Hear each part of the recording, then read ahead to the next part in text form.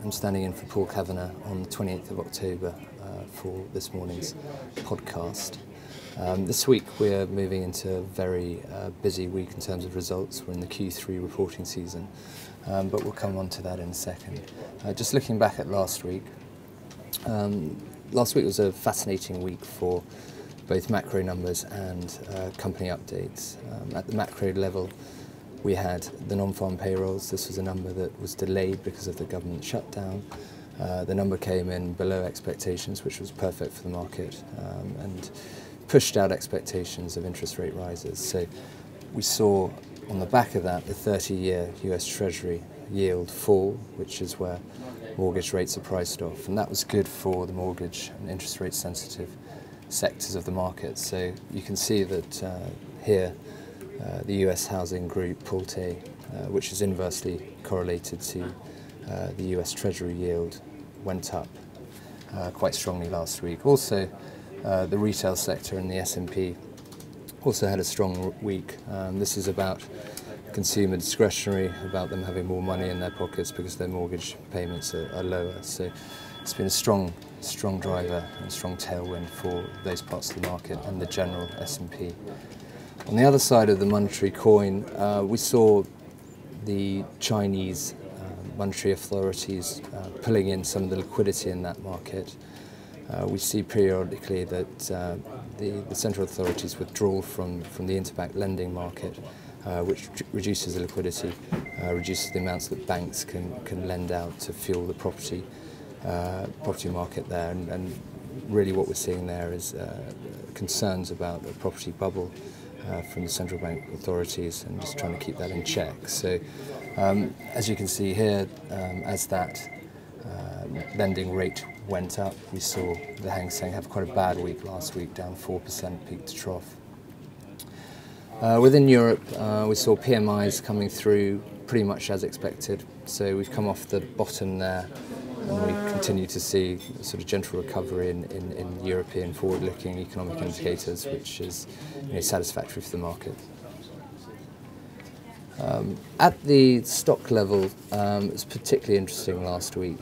Um, what we've seen in the absence of a lot of growth coming through in the emerging markets is more interest in, in some of the, the thematic or structural growth stories in the UK uh, and, and in US stocks. And, and within portfolios, we've been playing the internet stocks through Google and Amazon.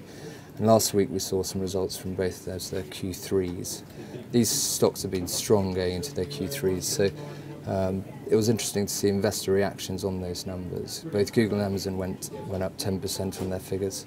Um, and we saw um, Google post uh, an increase in clicks of 26% quarter on quarter, which is a strong number um, and also at Amazon we saw strong sales. So, so the interesting thing here is that the market's getting more comfortable with the Amazon multiple, which on a P rating is very high, but on an enterprise value to sales uh, looks fairly reasonable. In fact, if you strip out the Amazon Web Services business, which is growing very quickly at Amazon, the retail business looks on you know, fairly similar multiple to Walmart um, Best Buy in the US, yet it's growing five times quicker. So, so we continue to like that story. Equally, Whirlpool had another uh, a very big pop on their figures. Um, this again is, is related to the housing market. Um, rather than playing the house builders, we bought the white goods manufacturers who typically benefit six months after new home sales as people replace their, their white goods. Um, and here we saw a 4% increase in revenue year on year, which related to a double, translated to a doubling of earnings uh, throughout the year. So that's a strong number. A lot of momentum behind that sector in the US uh, and in Europe.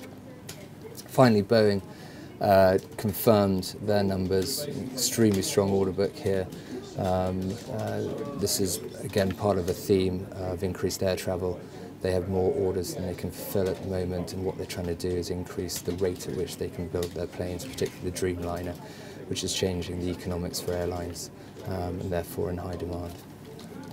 So um, moving into the week ahead, um, it's a pretty strong, heavy week for, for results, um, particularly uh, the UK banking sector. Um, we've got uh, the main constituents of that sector reporting this week uh, and also the UK oil sector. Um, In terms of the banking sector, uh, we've got Lloyds tomorrow.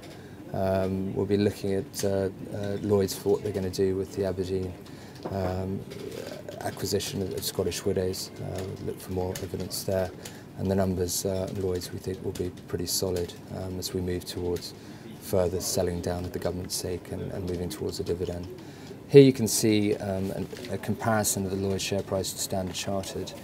Um, clearly at the start of this year, uh, the Standard Chartered uh, rating is far higher than Lloyds. Um, what we've seen this year um, is the Lloyds share price re-rate um, and, and we've seen a little bit of derating on Standard Chartered without much earnings growth coming through. So, so it'll be interesting to see how they report this week.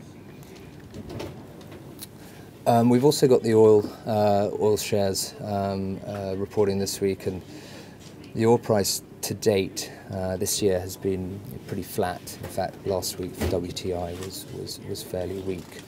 So, oil the oil sector um, has been trading more as a bond proxy this year. So, if you look at BP here, um, compare it to the 10-year gilt, UK uh, government gilt, it's pretty much tracked that. So, people are buying these integrated oil companies for um, a higher yield than the, the, the, government bond, but not really looking for, for, for, much growth given the backdrop for the oil price at the moment.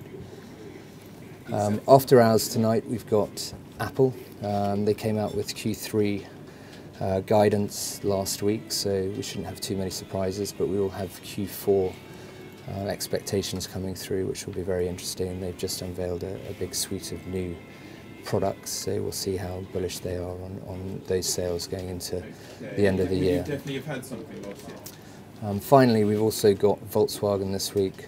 Um, this share price, as you can see from the chart here, has been following the European uh, recovery. So here we've got the PMI numbers for, for Europe, which is the forward-looking manufacturing data for Europe.